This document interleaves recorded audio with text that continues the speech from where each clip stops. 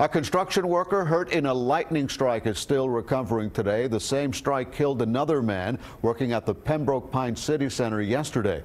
CBS 4's Tiani Jones is following the story for us. She joins us live from Pembroke Pines where that work has restarted, right, Tiani? That's right. The Pembroke Pines Fire Department hasn't released the name of that man who was killed on this site yesterday, but as you see behind me, the work goes on.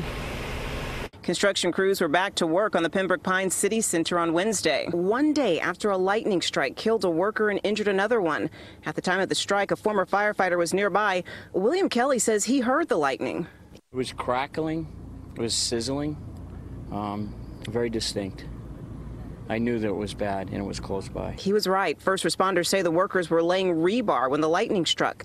At the time, there was no rain, just lightning when the 34 year old man was hit. His injuries were very significant. It appears that it might have been a direct hit. His coworkers performed CPR as paramedics arrived. They immediately knew the severity of the situation.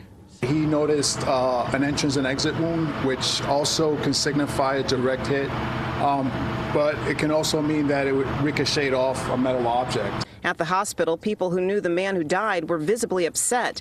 A spokesperson for the City Center project along Pines Boulevard near City Hall released a statement saying, Our thoughts and prayers are with the families of the two construction workers involved in today's unfortunate accident. The matter is being reviewed by the proper authorities, and the contractor on site is cooperating in that process.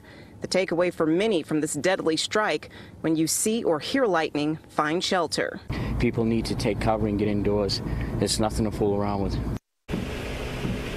Now, the other worker complained of an injury to his hip. He was taken to the hospital. He was conscious when they did transport him. We're live in Pembroke Pines. Tiani Jones, CBS 4 News.